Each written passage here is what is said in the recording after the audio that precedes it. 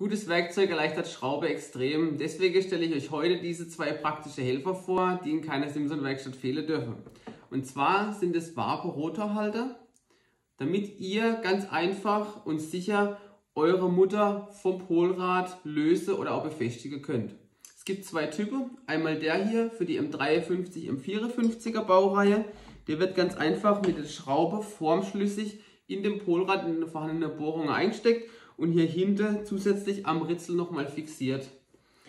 Der hier, passend für die M500er, M700er Baureihe, wird genauso einfach jetzt hier an den vorhandenen Bohrungen eingesetzt, mit der Welle hier hinten gesichert und dann könnt ihr ganz einfach die Mutter lösen oder anziehen, wie jetzt hier in dem Fall optimalerweise mit Drehmoment 20 Newtonmeter, ziehe ich das Ganze an und dann passt das perfekt.